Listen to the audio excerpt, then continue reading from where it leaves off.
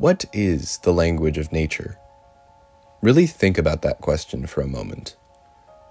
If you were to ask a physicist, I bet their answer would be some variation of differential equations. Everything in nature is governed by differential equations, from the way atoms vibrate, to the way hurricanes form, to the way the planets and stars wander in the vastness of space. Indeed, the chaotic flow you're seeing in the background is governed by the Navier Stokes differential equations. Even Newton's second law, F equals ma, is a differential equation, since acceleration is the second derivative of position.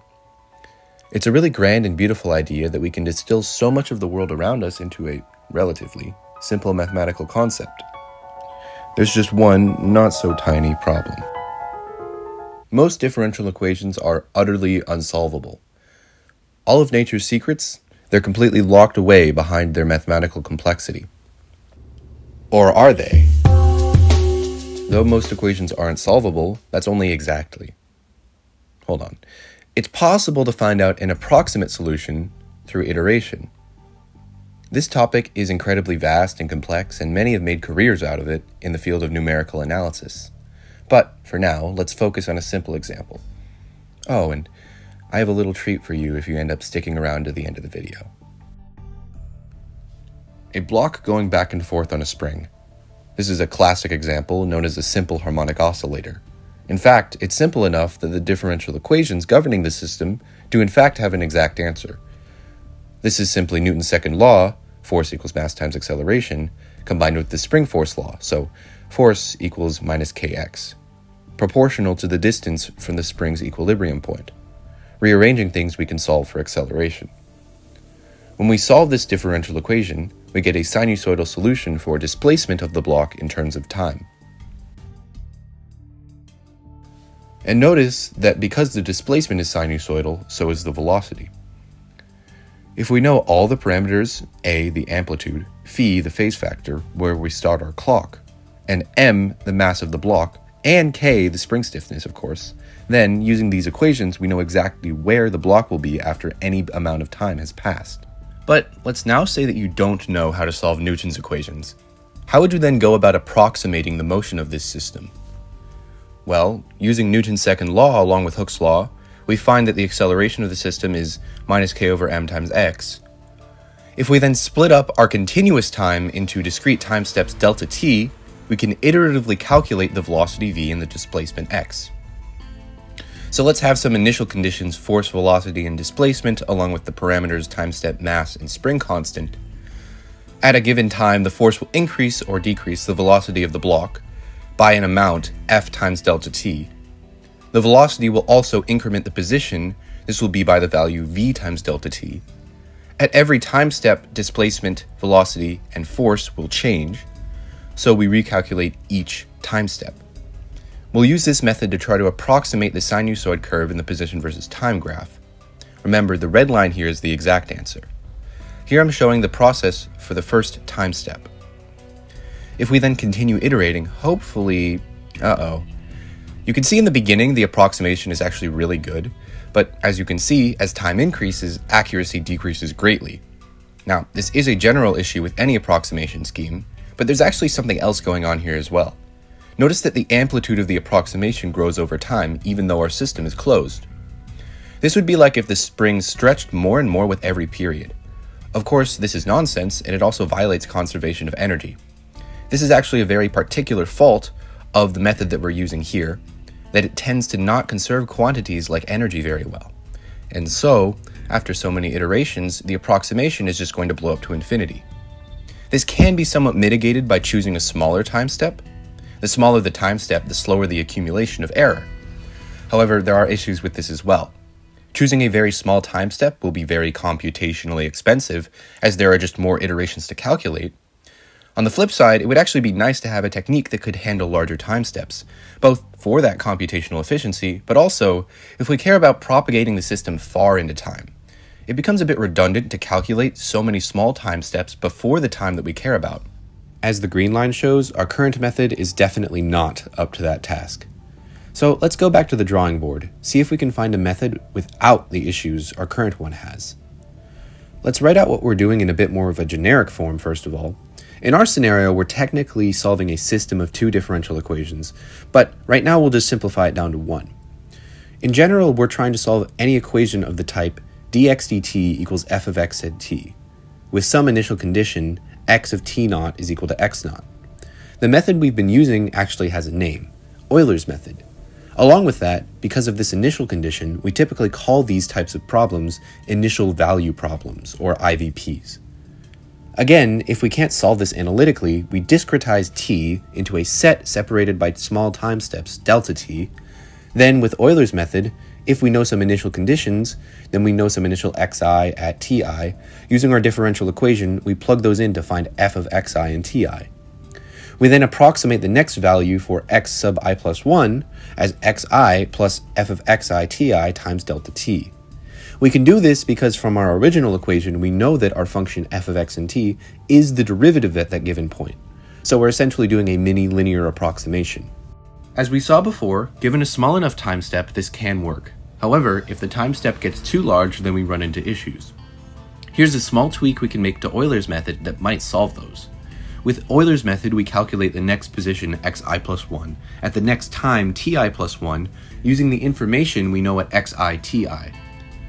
We can instead write a sort of implicit Euler's method, change the formula slightly by replacing i with i plus 1 in our function calculation. By doing this, we might be able to mitigate the previous issues, since we take into account the next position in our calculation. Note that this numerical method will be somewhat more numerically stable. We call this method implicit as xi plus 1 depends on itself here. The Euler's method we introduced before could then be thought of as an explicit method. From top to bottom, here are the exact solution, Euler's method, and the implicit Euler's method oscillators. But wait, why is the implicit spring slowing down? We didn't include any damping terms in the calculation, did we? Well, no, unfortunately, this is the trade off we've made. The implicit method is much more numerically stable than the explicit one. However, in making the swap, now there are issues with energy conservation in the other direction. What I mean is, with each time step, the implicit method will leak energy, causing the system to act as if it was damped. In fact, if we just rearrange our implicit method, we find that it's the same thing as the explicit method just in reverse. We calculate xi from xi plus 1, so in a sense, the implicit method is just a backward Euler's method. Thinking about it this way, it makes perfect sense why we have a damping. Euler's method blew up as time increased. Since the implicit method is the same thing in reverse, the amplitude will decrease with time. So, unfortunately, this approximation method isn't going to cut it for our spring simulation. I would like to note, though, there are scenarios where energy leaking is either much less significant or much less important, and in those cases, Euler's method, implicit or explicit, may suffice. So, how can we maybe combine the strengths of both our explicit and implicit methods while mitigating their weaknesses? Probably the easiest and most straightforward way would be to take the average of them. Well, not exactly, but something very similar. We do this in the hopes that the energy increase of the explicit method might cancel out with the energy decrease of the implicit method. To do this, we calculate two values, k1 and k2. Notice that the value we plug into k2, xi plus k1, is the same value that we calculate for Euler's method. So we essentially have f of x and t, which remember is the slope of our function at both increments, i and i plus 1. Now we let our value x sub i plus 1 be equal to xi plus the average of k1 and k2, and then of course times dt. This method takes into account points at i and i plus 1. If all has gone well, this method should be both more numerically stable and have energy conservation better. And would you look at that? It's almost a perfect fit. While we can tell this is still an approximation since as time increases, we do see that it gets less accurate. But this is definitely the best method we've had so far. Actually, the technique we've just employed does have a specific name, RK2, which stands for Runge-Kutta second order. Runge-Kutta is a family of differential equation approximation methods that follow in a similar line of reasoning. This particular method I've shown is second order because there are two terms, k1 and k2, that we average over. In fact, the explicit Euler's method is equivalent to a Runge-Kutta first order method. This is why x plus f of xi ti delta t showed up in our calculations for RK2. It's also good to note that just like Euler's method, Runge-Kutta methods can be both explicit or implicit. Now, in practice, Runge-Kutta fourth order, or RK4, is the method that's used most often, with many variations depending on the situation. It's the same concept as RK2 with just a few extra weights or K values. I do apologize for using a different graph here in the demonstration, but I tried it with the sinusoid and things just got way too cluttered. Here we care about not just Ti and Ti plus 1, but also halfway in between. Like before, we find the slope k1 and add that to xi. We then extrapolate that out halfway between time steps to another point. Then, at that point, calculate k2. Again, use that slope to find another point halfway in between, then find slope k3. Finally, move the full time step using slope k3 and at that point calculate k4. We then average over these four slopes and add them to xi times delta t. Here are all the full algebraic formulae.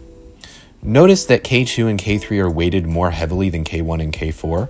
The reason for this comes from the actual derivation of RK4 involving Taylor series, and I won't get into that here. I'm more trying to build an intuition for why and how Runge-Kutta methods would be used. So this is it then, the final approximator we've been building towards. RK4 is used widely in science and engineering wherever we have an initial value problem. Other Runge-Kutta schemes are used everywhere as well. For example, MATLAB's ODE45 uses a combination of Runge-Kutta fourth and fifth order methods. You'll notice here that though the RK2 method was sufficient, the RK4 method is damn near spot on, you can see that as time increases, there is a clear difference in accuracy. The order and specific approximation method used does vary based on application. For certain systems, again, Euler's method, both explicit or implicit, could be sufficient. Otherwise, RK4 is generally a go-to for its fast convergence and overall stability. As I mentioned earlier, approximating solutions to initial value problems is an incredibly large field in the realm of numerical analysis. But using just the principles I've outlined, you can create a lot of cool stuff.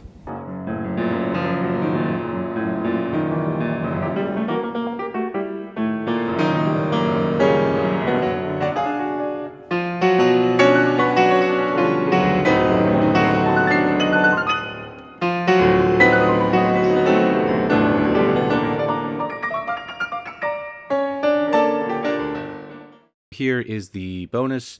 In addition to the animations that I wrote for this video, I also wrote a WebVPython script where you can interact with the different springs and the different approximation methods. So if I click run here, you'll see five springs. This is exact, uh, Euler's method, implicit Euler's method, RK2 and RK4 methods.